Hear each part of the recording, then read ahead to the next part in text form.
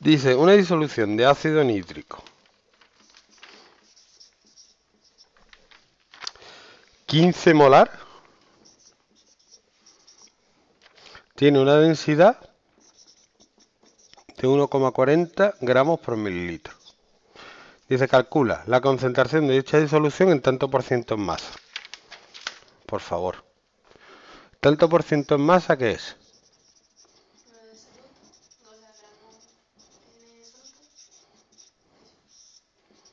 La masa de disolución por 100.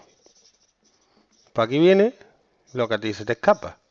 Que yo, como quiero transformar una medida de la concentración a otra, puedo coger el volumen que me dé la gana. Y yo digo, pues yo voy a coger un litro. ¿Por qué? Porque yo lo valgo. ¿Qué pasa? Un litro son mil mililitros. Entonces la masa de la disolución es la densidad por el volumen, que es 1,40 por mil, que son 1400 gramos. Esa es la masa de la disolución. ¿Vale? ¿Mm?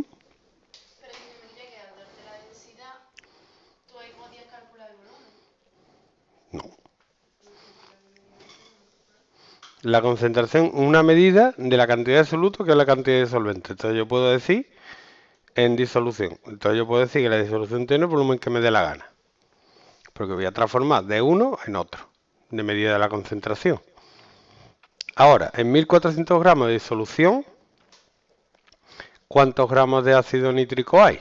Pues como me dicen que es 15 molar, y la molaridad es el número de moles partido el volumen en litro, y como yo he dicho, porque yo lo valgo, que el volumen en litro es 1, el número de moles es 15 por 1. Tengo 15 moles de ácido nítrico. Pero como me piden porcentaje en peso, tengo que calcular los gramos de ácido nítrico que tengo. El ácido nítrico tiene de peso molecular hidrógeno 1, nitrógeno 14.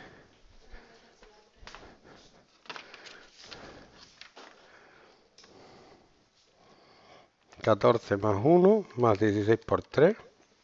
63. Entonces la masa en gramos de soluto, como el número de moles es la masa en gramos de soluto partido el peso molecular, la masa en gramos será el número de moles 15 por el peso molecular que es 73. Y esto da 945 gramos.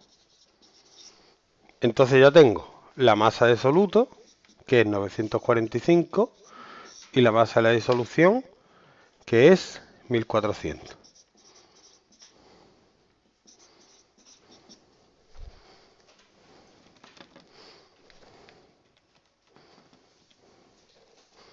...67,5%.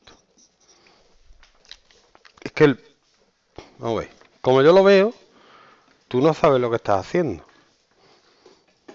Yo creo que tú no comprendes el concepto de concentración todavía ni la fórmula ni lo que implica cada fórmula. Entonces así no lo puedes hacer.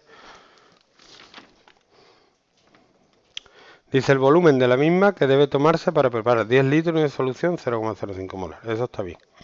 ¿Vale? Porque te lo sabes de